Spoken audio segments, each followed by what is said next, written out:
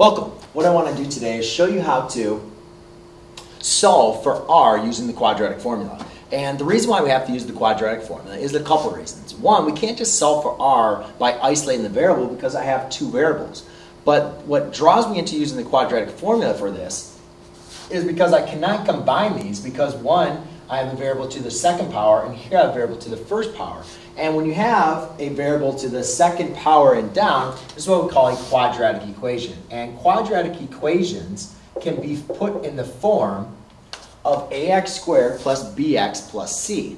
And a lot of times there's different little techniques to be able to solve quadratic equations. And one of them is using the quadratic formula. And the reason why we call it the quadratic formula is because it's a formula to find the values of r using the coefficients. Well, I guess I could write it like this, right? Because my variable now is r, are using the coefficients of your r terms. So the quadratic formula states um, opposite of b plus or minus the square root of b squared minus 4 times a times c all over 2a is going to equal your value r. So now what I need to do is I just need to evaluate by plugging in a, b, and c. So what I look into, I have a is going to equal 1, B is 2, and C is negative 3. So I'm going to plug those into my equation.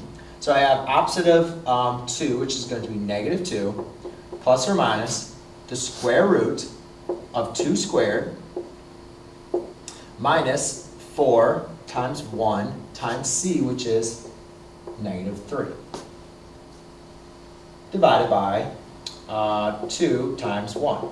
So when I get this, I get 4, or 2 squared, which is 4, minus, and then I do negative, well, I can do negative 3 times negative 4, which is going to be positive 12. So I have 4 plus 12, which is 16. So I have negative 2 plus or minus the square root of 16 all over 2. Well, I can evaluate the square root of 16, which is going to be 4. So I have negative 2 plus or minus 4 divided by 2. So now what I want to do is I'm just going to evaluate this uh, plain and simple. What you can do is you can do this a couple different ways. You can separate, remember all this is being divided by 2, so you can first add them and then divide by 2, or and then subtract them divide by 2, or you can divide the 2 into both of those terms and then add and subtract. But I always like to just add on top and then divide by 2. So I could have negative 2 plus 4, which would be 2. Um, 2 divided by 2 is going to equal 1.